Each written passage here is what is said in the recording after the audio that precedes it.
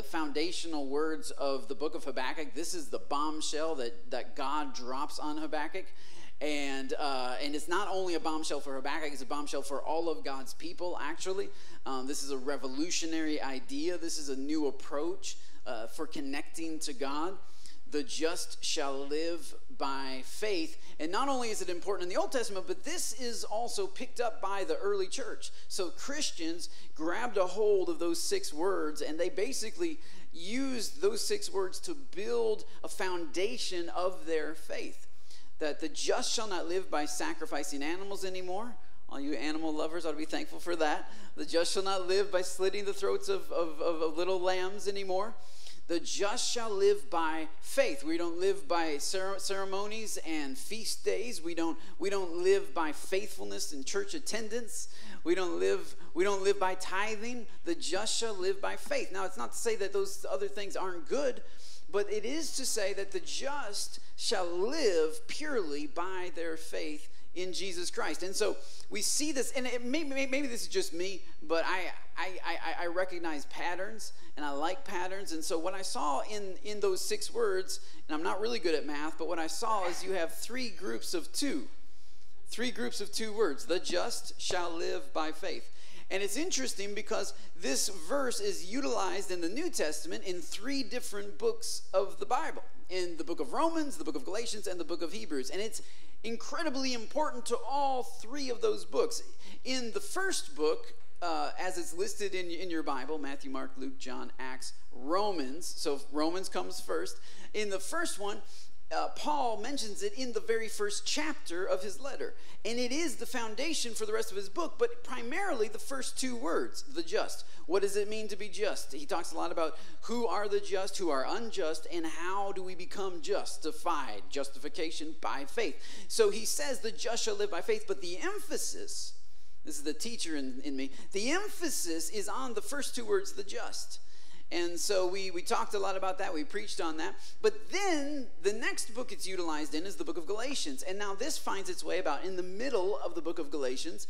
And the emphasis is on the, the middle two words how then shall we live? How do we live? How do we go about our daily lives? Do we participate in feast days? Do we worry about sacrificial animals? How do we and and once again the just shall live by faith, but it's located in the middle of the book and he's focusing on the middle of those six words and the emphasis is right there. And now we find ourselves at the end of those six words by faith. And this is mentioned in the book of Hebrews. Uh, we are not quite sure who the author of Hebrews is. I have a hunch it was Paul. Um, but it may have been Apollos, it may have been several other early church fathers. It's clearly the book of Hebrews, it's written to the Hebrew Christians who are coming from their Hebrew faith, from Judaism into Christianity, and he builds, he builds his, his argument. Actually, many believe that the book of Hebrews was originally preached, not written. So it reads like a sermon. Uh, and they believe somebody like listened to the sermon and wrote it down word for word, verbatim kind of thing. And so by the time he, he's building his argument, he's building his sermon, okay? It's, a, it's not a 30 minute sermon, by the way. Uh, it's more of like one of my sermons. So it goes a little bit longer. He takes a while in the introduction. And finally, toward the end of the book, at the latter part of chapter 10, he quotes this same passage For the just shall live by faith. And his emphasis is on the last two words by faith. So, Romans is the beginning of the book, his emphasis on the first two words. Galatians is in the middle of the book, his emphasis on the middle two words. And Hebrews, it's at the end of the book, and his emphasis is on the end of that sentence, of those six words, the just shall live by faith. And so that's where I want to hang out today. Uh, let's turn to Hebrews chapter 10, and I want to read directly uh, from that passage. Hebrews chapter 10, and um, because I have this digital Bible, it might take me a second to find it, but we're going to look up um, right toward the end of Hebrews chapter 10. We're going to go on uh, verse 35. Let's read from verse 35, and this actually will be on the screen for you if you want. I'm going to look at the New King James Version from verse 35. We're going to read the, the rest of this chapter from verse 35. He says, For you have need of endurance, or no, verse 35, sorry, verse, that's 36. 35, he says, Therefore, do not cast away your confidence. Do not cast away your confidence. Oh, brothers and sisters, do not cast away your confidence. He says right here, because it is of great reward. What is the reward of following Jesus? Confidence. What is the reward of walking with Jesus? Confidence. That in a time of uncertainty, you can have confidence that is the great reward of following Jesus, of walking with Jesus, of living by faith. For the just shall live by faith. And the reward of that, the end of that, is that you wake up in the morning and you live your day throughout the day and you go to sleep at night with confidence. And, and the writer of Hebrews says, don't throw that away. Don't believe that's such a small thing. Trust me, blessed assurance is a huge thing. You must hold on to your confidence. Therefore, do not cast away your confidence, which has great reward, for you have need of endurance. The just shall live by faith, but, but along with that faith, there has to be faithfulness. You have need of endurance, he says, so that after you've done the will of God, you may receive the promise. What's the promise? What's the reward?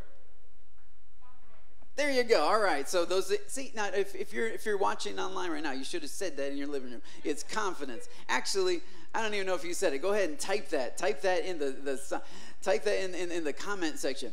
For those of you that are here, I know you got masks, but come on, like you can you can I was helping you out. There you go. Confidence. Come on, somebody. All right. So it's conf- that's the reward. But you have need of endurance in order to get that, in order to get to a place of confidence you have need of something called endurance. And now he quotes from the Old Testament. And this is interesting because this is a quote from Habakkuk chapter 2, verse 4 from the Septuagint, which is why it reads a little bit different. And the, the Septuagint brings out some different uh, details from the Old Testament passage in the Hebrew, but he says, For yet a little while, and he who is coming will come and will not tarry. Now the just shall live by faith. But if anyone draws back, my soul has no pleasure in him. But we, verse 39, but we are not of those who draw back. Come on, somebody. We are not of those who draw back. There are people who draw back, but that's not us. I'm looking at you. That's not you. We are not of those who draw back. You have to believe that because this is the confidence that you can have. Some of us don't have that confidence, and honestly, we're always wondering whether we've drawn back or not. But, but the writer of Hebrews says with confidence, but we are not of those who draw back to perdition, but rather we are of those who believe to the saving of the soul. How can you get that confidence? Well, by faith. The just shall live by faith. And this is, by the way, just, just to point out, this isn't on the screen, but in chapter 11, that's the end of chapter 10, you go right to the very next verse, and he says, Now faith is the substance of things hoped for, it's the evidence of things not seen. For by it, by faith, the elders obtained a good testimony. And then verse 3 starts with these words, By faith, the just shall live and then verse 3 says, By faith, we understand that the worlds were formed by a word from God. Now, he's talking about two things there. He's talking about one, possibly creation, but more likely, he's talking about the generations were formed or built by faith. We understand that. And then you go down to verse 4 By faith, Abel offered to God a more excellent sa- sacrifice than Cain. By the way, uh, I don't have time to get into it, but that's, that's, that's an, interesting, an interesting way of talking about it. And actually, let me let, let, let me go to the NIV now. I, I, I, I got to switch back and forth. I, I, like the way the NIV says, "By faith, uh, Abel brought God a better offering than Cain did." That's, that's closer to the to the original language. It was a better offering. It's not that Cain didn't go to church. It's not that Cain didn't worship. It's that Abel had better worship than Cain. so I don't, I don't, I don't know if this will sit well with American audience, but um, half worship is, is, is, is, is as beneficial as zero worship. God is as interested in your half-hearted commitment as he is in no commitment. For Cain, literally, he was unpleasing to God because he did part of what he was supposed to do. Abel, however, had better worship. Okay, and so we are the better worshipers, all right? I'm, I'm just going to throw that out right now. We are not of those who draw back to perdition, but we are of better faith than that. And the better worship is important. And then verse 5, he says, by faith. Enoch was taken from this life so that he didn't experience death. By faith, Noah, when he was warned of things not yet seen in holy fear, built an ark to save his family. By faith, Abraham, the just, I think you get the idea, the just shall live by faith. And he's going through the history of the just. He's going through the history of the elders who obtained a good testimony, and every single sentence starts with the words by faith. Why? Because the just shall live by faith. And everything that they did and everything that they everything they accomplished in their lives, they accomplished by faith. And we scroll on down to verse 17, by faith Abraham when God tested him. So just because he started walking with God doesn't mean that he wasn't tested. You will be tested. By faith, Isaac blessed Jacob and Esau. By faith, Jacob, when he was dying, blessed each of his each of Joseph's sons and worshipped and leaned on his staff. By faith, Joseph, when his end was near, spoke of the ex- exodus of the Israelites. And now this is where I want to to to to land is right here near the end of this amazing list. And as a preacher, this would be a great list to preach. But I want to look at verse 23. By faith, Moses' parents hid him for three months after he was born because they saw that he was no ordinary child and they were not afraid of the king's edict. By faith, Moses, when he had grown up, refused to be known as the son of Pharaoh's daughter. He chose to be mistreated along with the people of God rather than to enjoy the fleeting pleasures of sin. That's a powerful verse. This is when Moses had grown up, he had to make a decision. Was he going to be a was he going to identify with the family that he was raised in? Or was he going to identify with the family that he was destined to belong to? And we all have that very same decision. Are you going to identify with the city you were born in? Are you going to identify with the country that you live in, or are you going to identify with another city, with another country, with another kingdom? And so, so uh, Moses chose to identify with God's people, and actually, the writer of Hebrews kind of draws this parallel. He says here in verse 26, he says, He regarded the disgrace that he received, the disgrace for the sake of Christ, as greater value than the treasures of Egypt because he was looking ahead, this is key, to the reward. What is the reward of those who live by faith? Confidence. Yes, somebody's listening. All right, Mia, you get an A plus for that one. he was looking forward to the confidence that he was looking forward to the reward. So he, he was able to go through, he was able to go through some things because he was looking to something. And so now we understand in verse 27 by faith, he left Egypt. This is the verse I've, I've highlighted in red so that you can get it. By faith, he left Egypt. Not fearing the king's anger, he persevered because he saw him who is invisible. Now, when I was reading that this week, it stuck out to me because I said, wait a minute, which time are we talking about? Because if you know the story of Moses, he left Egypt twice. He, he left Egypt twice. And, and, and, this, this, this, the writer of Hebrews seems to be tracking along Moses' life, right? He starts with his birth. He says when he grew up, he, he, he associated with the people of God rather than with, with the Egyptians. And then he left Egypt by faith, and he didn't fear the king's command. So interestingly enough, we need to go back in scripture just a little bit to see exactly which one he's talking about. So if you have a Bible, go to Exodus chapter 2, and we're going to look at Exodus chapter 2, verse 11. This is the first time that Moses leaves. Uh, leaves Egypt. And this will not be on your screen at home. If you're at home, whip out your Bible app or something, or an actual Bible if you have one. Dust it off, open it up. Go to Exodus 2, verse 11. One day after Moses had grown up, he went out to where his own people were, and he watched them at their hard labor, and he saw an Egyptian beating a Hebrew, one of his own people. One of his, see, see, how it says that several times, his own people. He went out to where his own people were. He watched them at their hard labor. He saw an Egyptian beating one of his own people. He has now identified with the people of God. This, these are his people. And because they're his people, he can't stand to see them mistreated. And so in verse 12, it says he was looking this way and that way, and seeing that no one was around, he killed the Egyptian and hid him in the sand. So the next day, he went out and saw two Hebrews this time fighting. He asked the one in the wrong, Why are you hitting your fellow Hebrew? And so the man said, Who made you ruler and judge over us? Are you thinking of killing me just like you killed the Egyptian? Then Moses was afraid. he says, Uh oh. Then Moses was afraid and thought, What I did must have become known. Very next verse. When Pharaoh heard of this, he tried to kill Moses.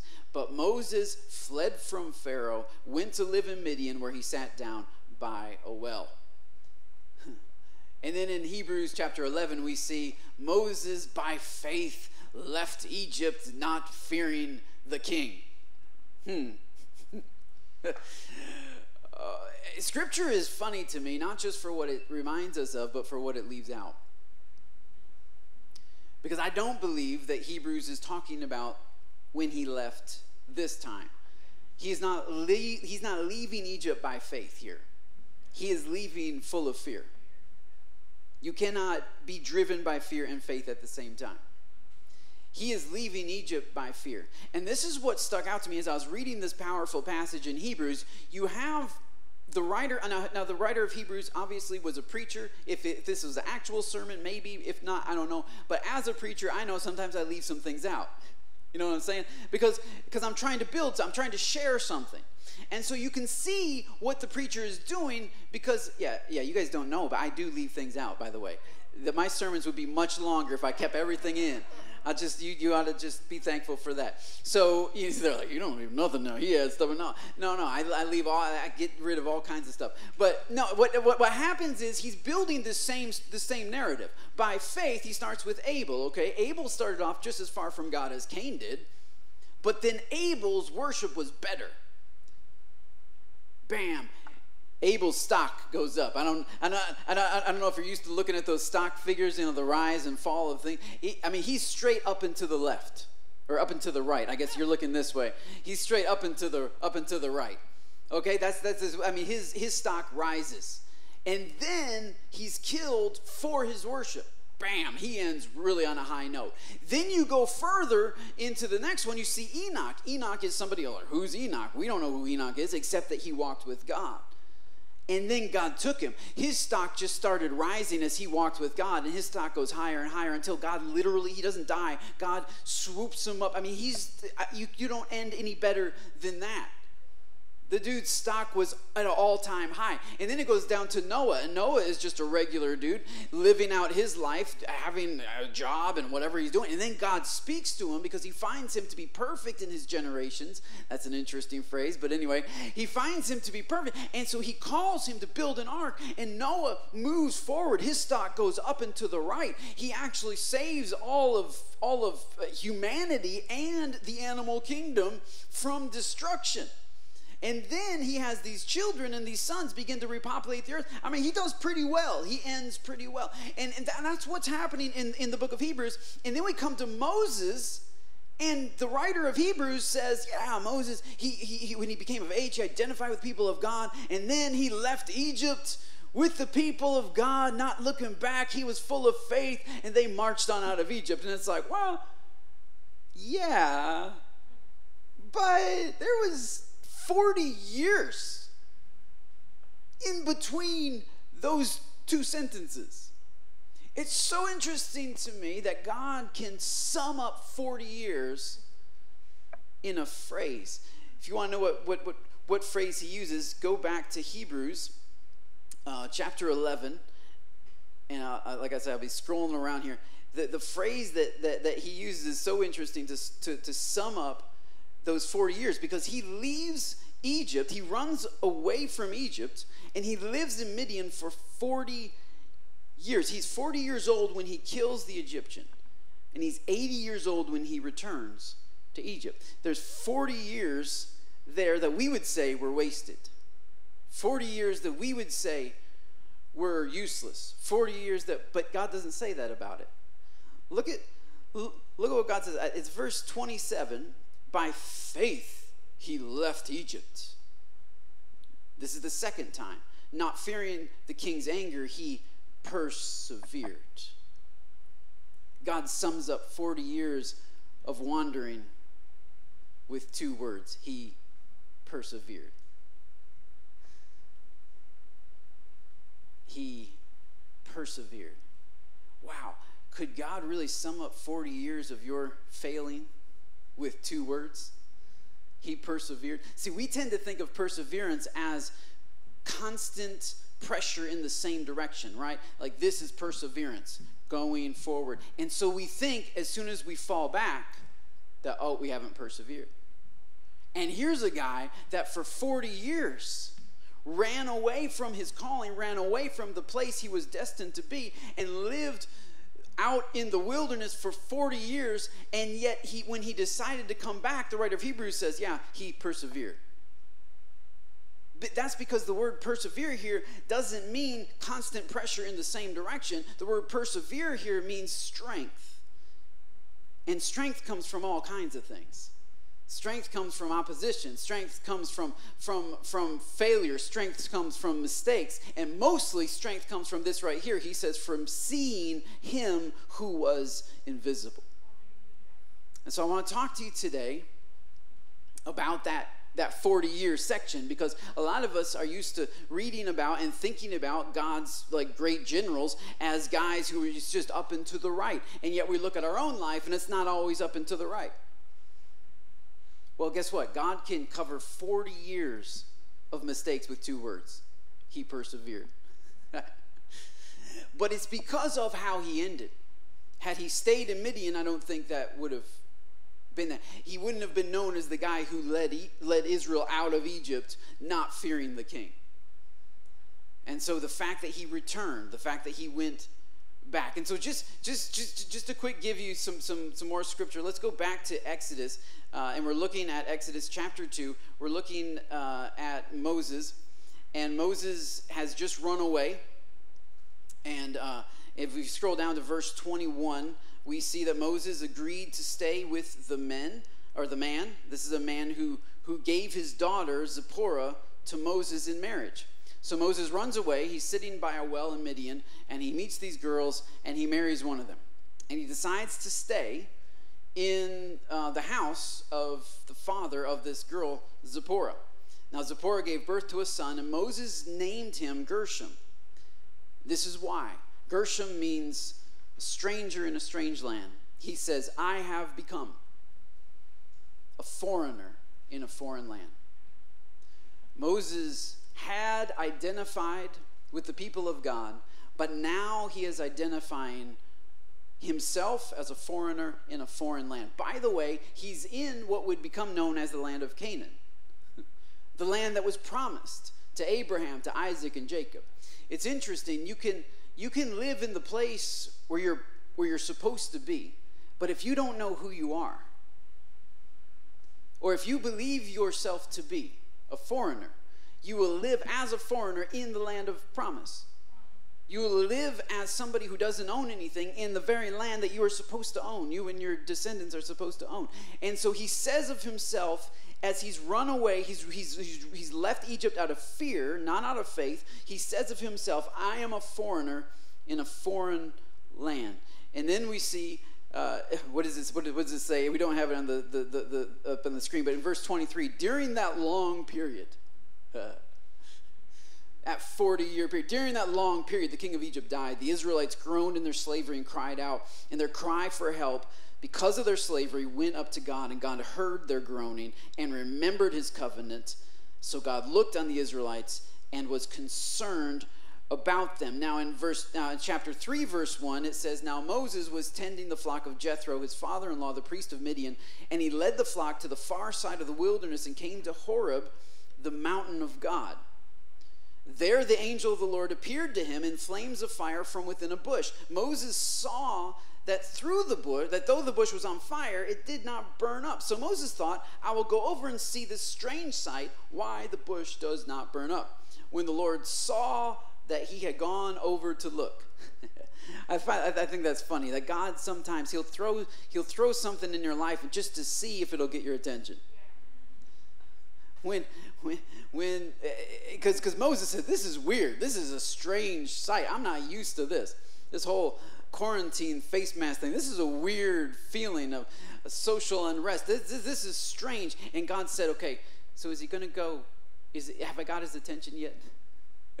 and when he saw that Moses went to look, from within the bush, God called out, Moses, Moses. And Moses said, Here I am. And then God said, Don't come any closer. Take off your sandals, for the place where you're standing is holy ground. Then he said, I am the God of your father, the God of Abraham, the God of Isaac, the God of Jacob. At this, Moses hid his face because he was afraid to look at God. Then God began to share with him his purposes. He said, I have indeed seen the misery of my people in Egypt. I have heard them crying out because of their slave drivers, and I am concerned about their suffering. So I, notice how many times God's talking about himself. So I have come down to rescue them from the hand of the Egyptians and to bring them up out of that land into a good and spacious land, a land flowing with milk and honey, the home of the Canaanites, the Hittites, the Amorites, the Perizzites, the Hivites, the Jebusites, the Cellulites. Come on, somebody. And and now the cry of the Israelites has reached me. And I have seen the way the Egyptians are oppressing them. So now he says, Go, I am sending you to Pharaoh to bring my people, the Israelites, out of Egypt. But look what Moses says in verse 11. But Moses said to God, Who am I that I should go to Pharaoh and bring the Israelites out of Egypt? God just got done with a whole paragraph telling Moses who God was. And Moses was more interested in who he was. Notice when, when he named his son Gershom, he was thinking about himself. I am a stranger in a foreign land. And now he's approached by God Almighty, and God Almighty tells him all of these great plans, things he's going to do. And then all Moses can say is, But who am I? When, when you don't know who you are, it doesn't matter what kind of great revelation you get about God. You will always bring it back to, yeah, but what about me? It's amazing. He, he's face to face with the bush that's burning for crying out loud. And he says, Well, but, you know, who am I? That I should go back there. And God doesn't answer the question because it's a stupid question. God doesn't answer stupid questions. God said, I will be with you, and this will be a sign to you that it is I who have sent you. In other words, Moses, look, you've been looking at yourself for way too long. The answer is not in there. The answer is I, in case you didn't catch this, Moses. And by the way, when Moses is like, Who should I say sent me? Tell him I am sent you. So, once again, the focus is solely on God and God alone. So, God says to Moses, Look, man, you've been focused on yourself. I'm not going to answer the question of who you are because who you are is not important. I will be with you. That's what you need to know. And this will be a sign to you that it is I who have sent you. When you have brought the people out of Egypt, you will worship God on this mountain. It's interesting. Now, he goes on to share other signs. There will be miracles in Egypt, there will be a staff that turns to a snake, all this cool stuff. But the actual sign that God had sent Moses, he said, Look, you're not going to know it when you're standing in front of Pharaoh. You're not going to know it even when he releases the people and he sends you out of Egypt and you walk out with faith and power. You are not going to know it until you come back to this same mountain. And you, instead of asking about you, worship God. In other words, you've been focused on yourself. And the only time that you'll actually know that it is God that is directing you, that is leading you, is when you are when you persevere and you get to the place of confidence. The place of confidence is sometimes like sometimes people only feel like they're actually following God when they're stepping into like the unknown, you know, they're stepping out into new territory, they're gaining new ground. Sometimes though, according to God and Moses' conversation here, sometimes the real test that you're following God is not when you step out into the, the, the crazy unknown. The real test is when you step back into a mountain that you used to be in, but you have a different response to an old mountain. Sometimes the real test of faith and the real knowledge that God is with you is not when you step into a new mountain, into a new church, into a new marriage. Come on, somebody. It, it's not your ability to leave something and step into something. Sometimes it's your ability to go back to something that you used to be in and do, and, and instead with a different and a better worship and a better attitude. And old circumstances with a new heart. He says, Look, you will know that I was with you when you come back. And the mountain's the same, but you're different. And the, the trials are the same, but you're different. I don't know. So this is this this is this is the, the title of my message today. is real simple, and you can tell this to your neighbor if you want. You can text this, whatever. It's just simple. I'm going back. I'm going back. Does anybody does anybody want to go back to old mountains with new anointing? Does anybody want to go back to old giants with new weapons? Does anybody want to go back to old kids that you've been staring at with new with new power, with new influence, with new unction, with new direction? I'm not I'm not saying we go back with the old mindset. I'm saying we go back to the same old mountain with a new perspective and a new focus, not on myself this time, not on who I am and what I can do and what I'm capable of, but on who He is and what He said and what I believe about Him. For the just shall live by faith. So the test sometimes is your ability, and I'm not saying some of us can't physically go back. Right? It's not like a mountain. So the mountains aren't necessarily, I'm not talking specific actual mountains. I'm not saying you need to go back to Colorado and climb that mountain again. I'm just saying that there are certain places in our lives that we feel like we need to create distance from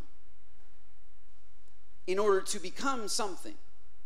And Moses had created distance between Egypt and himself in order to try to get peace and get rest and to be who he was supposed to be. But God said, It's not about the distance, it's about the difference I'm going to make in your heart and in your life. So I want you to go back. I want you to go back, go back to the place where you failed. Go back to the place where you fell. Go back to the place where you were so full of fear. Because until, until you get healing,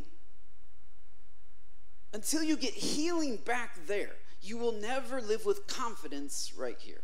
And so the reward of going back, the reward of perseverance, in order, the perseverance that Moses had was to go back, to take the children of Israel back to the mountain that he had come from. And it's interesting because God chose to meet him on that mountain. This Mount Horeb is also called Mount Sinai. This is where the Ten Commandments were delivered. This is where the people of Israel would come and Moses would go up and talk to God as a man talks to his friend face to face. This is where Moses would say, Show me your glory. He's such a different man when he comes back. He's such a different man. He's not interested in finding out who he is, he's not looking for himself. And this is what God wants to say. God wants to save us from self-reliance. And so he says you have to go back. You have to go back to where you where you fell. You have to go back to where to where you stumbled. You have to go back to where you you feel like you weren't enough. So the first thing Mo- Moses had to do was he had to turn around. He had been he had been he had been facing away from Egypt for 40 years and God said I want you to turn around and I want you to go back. And so last week I was preaching about uh, how the world, uh, quoting Vernon McGee, the, God has shut up the world to a cross. It is the cross of Jesus that forgives us, that frees us, that saves us. And I, and, and I was talking about that, and then I had a conversation this week with somebody that really got me thinking. Because it, it's, it's good to put your faith in the cross of Jesus. It's good to step on out of Egypt and leave Pharaoh and sin behind. It's good to go forward with God.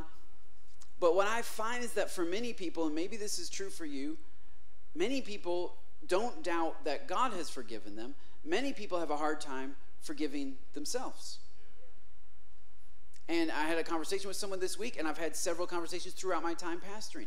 I, I, don't know how many times people have told me uh, I'm having a hard time forgiving myself. And so after I talked to this person, I thought, man, you know what? I think a lot of people have this issue. And then I'm reading through the book of Hebrews, and I'm reading chapter 11, and I look at Moses, and I'm like, wait a minute, how did he go back? Like, he was so scared. I know people that have lived in fear for like four months, and it's difficult to, for them to go back. 40 years? You're, you're 80 years old. You're not changing much at 80 years old. You know, like you don't even change music. You know what I'm saying? Like, like good new stuff comes out, you're not even interested in it. You just want to listen to the oldies because that's just what you know. And, and it's weird. And, and Moses, though, he shifts. He has this cataclysmic shift in his life where he actually goes back to the very person he was so afraid of. He stands in front of this person and says, God says, let my people go the very authority of Egypt that he was scared to death of, God empowers him to go back. The just shall live by faith. And, I'm, and, I, and I want to talk to you today, maybe it's more teaching today that honestly because we have to go a little bit deeper because if we're just going to get get excited about the cross and how god forgives us and yes i put my faith in jesus and yes that's great that's wonderful and it's really good and it's some kind of high end um, theology for you to sink your teeth into.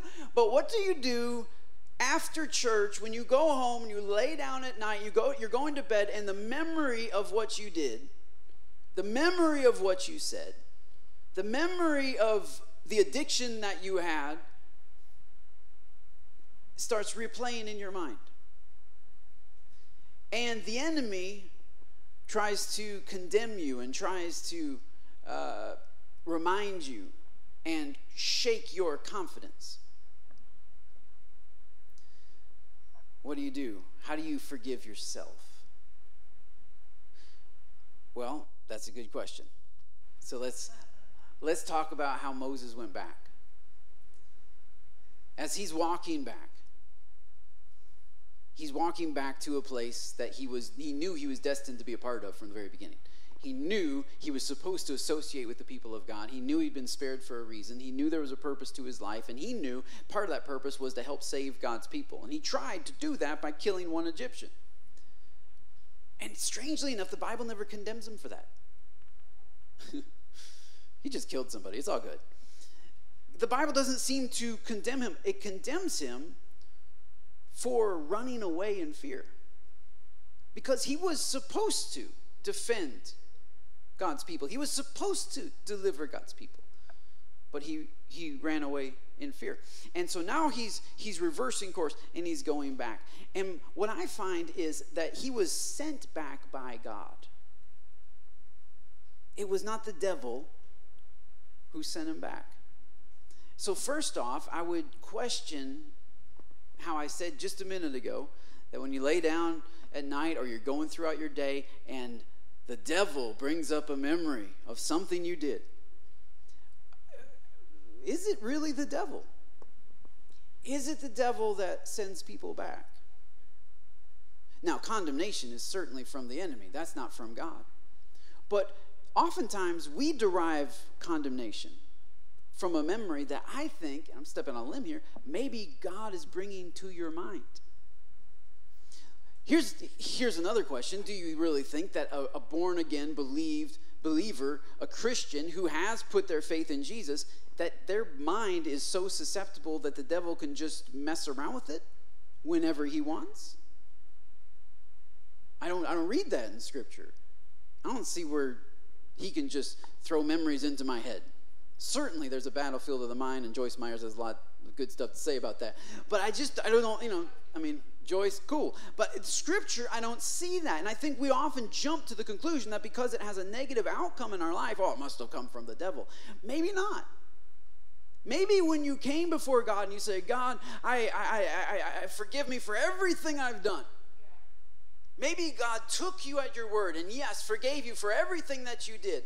But but but to forgive you is one thing, but to heal you is something else. Moses, uh, there's no unforgiveness there. There's, God's not angry, but God wants to bring healing to Moses because the reward is confidence. And so confidence is something that God wants you to live with. So yes, you confess, you know, everything I did. You don't even remember half what you did. You know what I mean? Like in like in, in, in, in, the moment, you're not aware that you're not thinking about that. Like there's there's a couple of major highlights or whatever, but for the most part, you're not aware, and you cannot be healed of what you have forgotten. And so it's my opinion that perhaps it is the role of the Holy Spirit. And maybe it's not just my opinion, I think it's uh, John 16, verse 8. Jesus said, When the Holy Spirit comes, he will, he says, convict, but really convict means to remind or to convince somebody. He will convince the world of sin and righteousness. Like in the same sentence. We often think of those two things as completely separate. He will, okay, go, he's convinced me of sin. Okay, okay.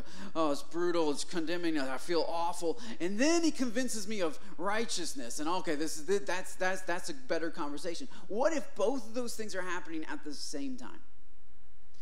What if God is trying to convince you and remind you of your sin so that you can actually lay it before the foot of the cross?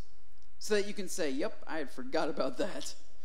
So that you can lay it before the foot of the cross, but not only so that you can be convinced of your sin, but so that you can be convinced of righteousness.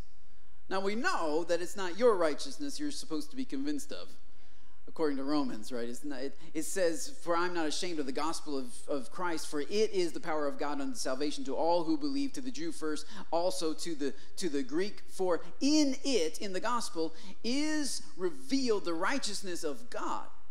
So when the Holy Spirit convinces us, He convinces us of our sin, and then He convinces us of God's righteousness.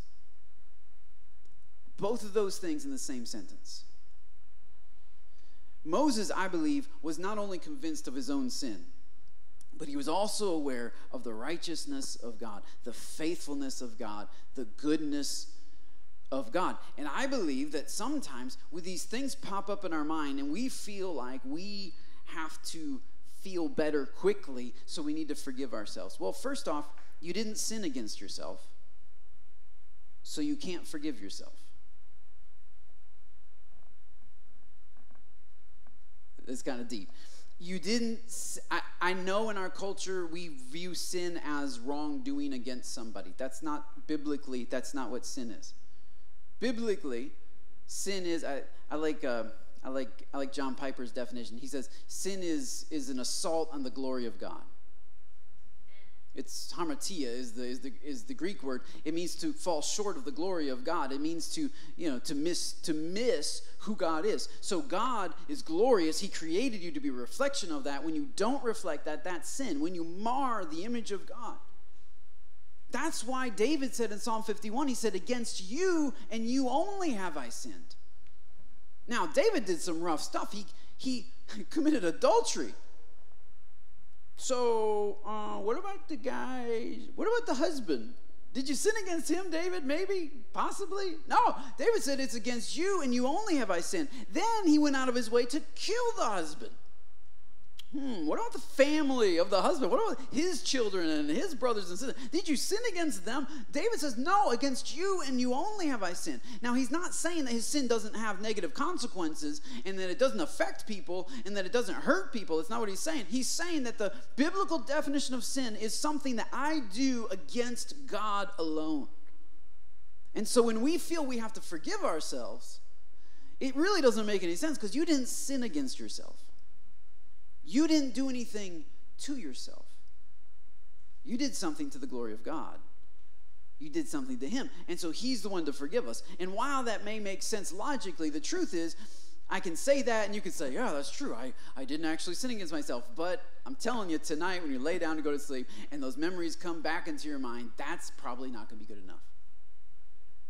But I'm a logical person. So there's your logic for you. You didn't sin against yourself. You're not the judge. Take the robe off, put the gavel down, and receive forgiveness by faith. If it made sense to you, it wouldn't be faith. If you could see it, you, it wouldn't be faith. If it lined up with your logic and my logic, it wouldn't be faith. You must, the just shall receive their forgiveness by faith. But how did Moses do that? How did he get over what he had done and how did he go back to where he was from?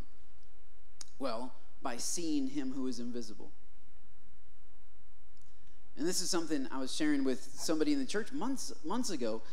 They had a situation in their life that they had an illogical fear of. illogical, like it didn't make sense. They were afraid of this situation, it didn't make sense. And they had, through prayer and through just thinking, they had come to the conclusion that it was because of this event that happened in their life years and years ago around this situation. And you can sit there, you can talk logic all you want. But the truth is, when you had trauma at some point in your life, trauma doesn't care about your logic. And they had trauma. This is interesting because some of us lay awake at night thinking of things we have done, others lay awake thinking of things that were done to us. What's interesting is we derive very similar responses. Condemnation can flow out of both of those. I'm worthless. I'm alone. I'm unwanted. Both of those, the victim and the villain, can come to the same condemning thoughts. And you can you can express logically why that isn't true, but the truth is trauma doesn't care about logic. And so there's this there's this memory. And so the Lord really laid on my heart just to share with this person what God had been teaching me. I think I heard Bob Hamp say something about this in one of the freedom videos he said, he said, you should always ask the question, where was Jesus? In those memories, where was Jesus? And I, that, that struck me because I thought, well, that's, that's interesting. Because I also have memories I wrestle with. One uh, that I've shared with you all that I feel good to share is when uh, I was just little. I think I was eight months old. And my parents always told me growing up that I almost died when I was like eight or nine months old because I was the oldest, I was the firstborn, and I was the guinea pig. So they uh, were, tr- were testing things out, and you know they didn't exactly follow the doctor's directions. What they misunderstood what they were supposed to do. So anyway, I was so de- dehydrated that she that my, at least my parents took me to the doctor, right? I mean that, that worked out. And then they drove they drove me to the ambulance to the ER. They they strapped me down on this wooden thing, the papoose I think it's called, and like stuck a needle in my head to start uh, trying to get fluids into my into my system. And my dad like stayed like in the room like all night, every night, like for three days I was there, and um, and I you know I survived. Obviously everything's cool, but but it was it's just kind of this weird memory. It was I think that's called a, a pre a pre-conscious memory. It's one of those memories that I, I, I, can't remember laying there strapped and looking at things, but it, it, it it's still it's deeper than that. It's a deeper memory than that. It's a feeling. It's a feeling of when I'm in trouble, I am alone and nobody is going to be there to help me. It's a feeling that it's almost like a memory that would come up whenever I would feel lonely, whenever I would feel betrayed, whenever I feel like the people who were supposed to be there for me weren't there for me. And I would kind of have this same kind of feeling like, well, yeah, that's just the way it is. I have to pull myself up by my own bootstraps. I have to figure this out because I'm alone. So it's not even the memory, it's what we derive from the memory. And so many of us, we have memories like that, either like where we feel like we were a victim, or we have memories where we victimize other people, did truly awful things. And, and, and it comes to our mind, and we derive from that, man, wow, I, I'm, I'm, I'm, I'm a bad person. I'm alone. I, I'm worthless. Nobody could love me.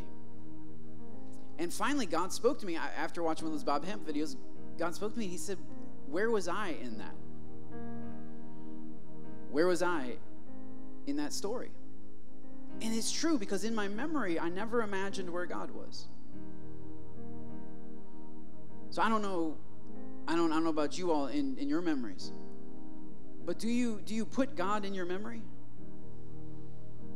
You might need to go back. I, I think the Holy Spirit brings up these memories because we, we constantly keep erasing Jesus out of them. I can't really hear myself talk at all with this music. If you could turn that down some. we constantly keep erasing Jesus out of our memory. We remember the memory as we lived it, not as it actually was. And that's what I asked this person. I said, Well, where was Jesus? And they began to tell me their version of where Jesus was at that time, years and years ago. And I said, oh, That's what you thought then, but no, now. See, I'm, I'm 40 years old now. I was seven months. I didn't know Jesus was there. I wasn't aware of him. I wasn't of his activity. I don't know. But now I know something I didn't know before. Now I've seen the invisible God. He was invisible to me then. He was invisible to me in the hospital room. I didn't see him. I didn't know he was there. I didn't know he was present. I was unaware of his activity entirely. But now I have seen the invisible God, and I can go back in my mind to that place and I can see him, I can place him. And God said, Where, where was I? I said, Well, you were in the room. Did I ever leave you? No. I said, Well, you, you know, you weren't doing much. you know, could have could have helped me out. He said, What do you mean? I said, Well, uh, he said, Well, you got out of there, didn't you? I said, Well, yeah, it's because the doctors were. He said, Who do you think gifted those doctors? Who do you think inv- helped people invent that needle that could go into your head that could actually get fluids into your body? Who do you think inspired the old lady to give her money to build that to build that that hospital? 50 years before you were born? What if God had been working long before you took your first breath to prepare you for the moment that He knew that you would be suffering? And what if He wasn't inactive? What if He was working? He said, You're only in there for three days. He said, I have a habit of leaving my sons in places for three days. It's kind of a thing. it's nothing personal, it's what I do talk to Jonah, you talk to Jesus, you talk to Abraham and Isaac as they're making their way to the mountain. It just kind of happens. No, but seriously, it's kind of a joke, but really in your life, where was Jesus? You have to see the invisible. He was invisible to you at that time, sure, but he's not now. You've seen him. You can go back. And instead of what your previous response was, you can worship. And you can say, Thank you, God, for, for saving my life. That when my parents couldn't be there for me, you were. That when nobody else could help me, you were. That when nobody knew what was coming, you did. Nobody prepared for what was coming, you did. And that's true of us, some of us victims, but it's also true of some of us villains. There's a story in the book of Acts, actually, the first murder in the book of Acts. It's brutal. It happens to a man named Stephen. It's Acts chapter 7. And it's recorded that Stephen was preaching the gospel. He was on trial for preaching about Jesus, and he delivered this great sermon. And the Sanhedrin drug him out and began throwing rocks at him until he died. It's called being stoned to death. And there's an interesting little character at the end of it's at right at the end of chapter seven that as the people were throwing rocks, they set their garments, their outer outer garments, down at the feet of the man named Saul, man who would later become known as Paul. And what's interesting about that is because you're reading this and it doesn't seem to make much sense. Well, why are we talking about this guy? Because none of the other guys are named. The Sanhedrin, the actual evil people chucking rocks, like they don't have names. They're just these nameless people. But here's this guy who has a name his name's Saul. He's standing. And then, like, it's interesting. You, you turn the page in your Bible, go to chapter 8, verse 1 of chapter 8. And Saul approved of the killing of Stephen. What's interesting is the book of Acts was written by a man named Luke, who was a very close companion, the closest companion to Saul, aka Paul.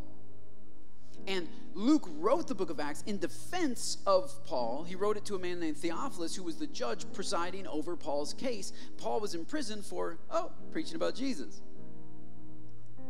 And I, I, don't know, this isn't in the Bible, but I can just imagine Paul, Saul is sitting there in prison, and Luke is sitting outside the cell, and he says, So, how did it all get started?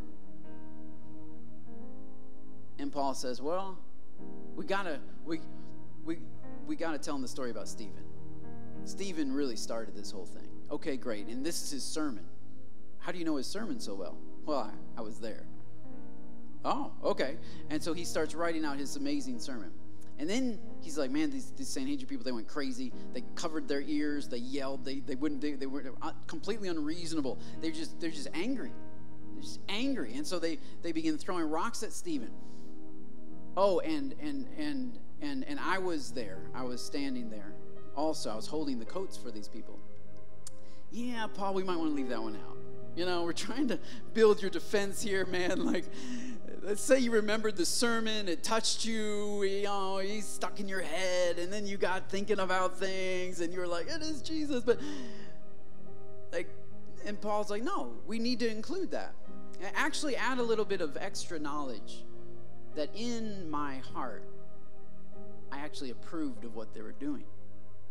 Oh, Paul, that's going too far. I mean, sure, you're standing there, whatever. You're, you're in the wrong place at the wrong time. You're a good person, Paul. I know that's not you. No, Luke, that is me. You know me as a follower of Jesus, and I am. But I know me a little bit better. that is me. It's totally me. And I've gone back to that place time and time and time again. And I've wished I could change it. I've wished I could step in there and defend Stephen, stand up for him. Nobody was standing up, everybody was against him. And I joined right in. It's interesting because we we would not include that in our biography. I don't think. I, we we kind of gloss over some things, but Paul includes it. And then Paul says, "Oh, wait a minute, wait a minute. You need to go back and include something else." What? Well, when Stephen's being stoned, rocks are flying. Jesus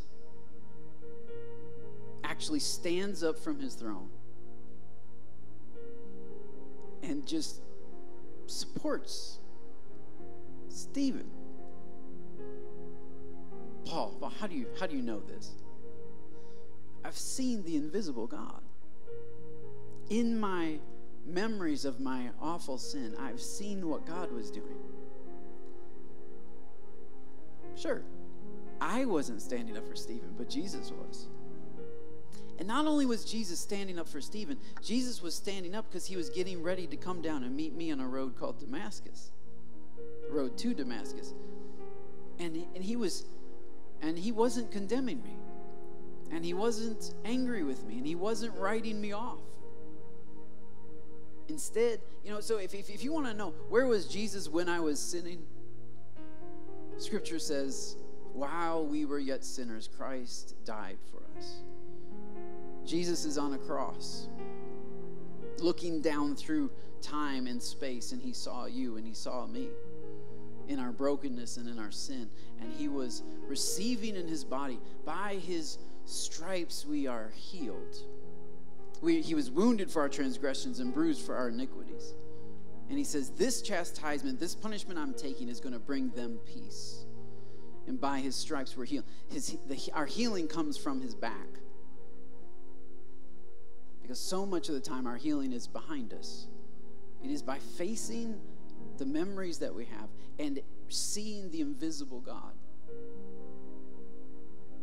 To see the one that we couldn't see when we lived it, but we can see him now. So I challenge you when you lay down in bed at night or you're going throughout your day and a memory comes up of something you did or something that was done to you, ask yourself, where was Jesus? What was he thinking at the time? And see him. Literally, just see him in your mind. Envision him in your mind. See the invisible God. He was invisible to you at the moment, of course. You wouldn't have been doing it if he was visible. If you had seen the crucified Savior, if you saw what your sin was doing to him, you wouldn't have done it. I wouldn't have done it. But he was invisible. And so we lived our lives as if he didn't exist, but he does. He does, he does, and he did exist. He's very real. And you know that now. You have seen him now. So now you can come back to this mountain. And you can step into an old mountain with a new perspective. You can step into an old situation with, with new anointing and with new power. So I encourage you right now go ahead and close your eyes and and just allow, even just allow the Holy Spirit, even now, to bring a memory to your mind. I don't believe it's just the devil. I think the devil can certainly use it and try to condemn us, but I really don't believe the devil has power over our minds if we're truly followers of Jesus. I believe that the power is the Lord's and that the Holy Spirit wants to convince us of, yes, our sin, but also the righteousness of Jesus. Where was Jesus? What was he doing? In these things, we try to delete these memories. You delete the memory and you can't have the healing. God's trying to heal you, He's trying to restore you, He's trying to make you whole. As if it never happened. Because when you see Jesus, you see that he was living as if it wasn't happening. He was crucified for your sin. He was laying down his life for your sin. And he wasn't holding back because of something you were doing, something you were caught in, something you were stuck in. No. He continued the mission that he was on because his love was is not conditioned on what we're doing. And so, Lord, we do. We, we go back in our minds. Lord, I ask that you would bring up all kinds of things. Some of us, it's, it's more of uh, sorrow, it's grief. We try to push grief out of our minds. Lost a loved one and we don't want to remember that, and it's painful. Lord, let us see the invisible, though. Let us see what you were up to on that day. What were you doing? Were you caught off guard? Were you weeping as much as we were? Or were you welcoming sons and daughters into the kingdom? Lord, help us to see the invisible. Help us to see you, not just at work in the moment and in the day, but all these months and weeks that led up to it. All that you prepared, all that you aligned, all that you put together, all that you built we don't give you credit for building the hospital. We don't give you, I don't give you credit for, for, for, for, for putting together the vaccine, for giving the wisdom, the hindsight, the insight, and the foresight. For I, I see the moment and I see my suffering, but I don't give you credit for all of your preparation up to that moment. Lord, reveal yourself to us. Let us see the invisible God. Let him become visible in all of our memories. We can't etch a sketch him out. We have to keep Jesus just as He is in our present, He is also in our past. He's at work, He's moving. The fact that we're here is proof, is evidence of it. And as we see you, we gain strength.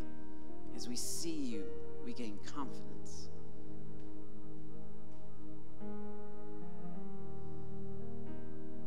Maybe that's why Hebrews says, let us, let us run the race looking unto Jesus. Let us run this race looking unto Jesus, who is the author, that's the beginner, and the finisher of our faith.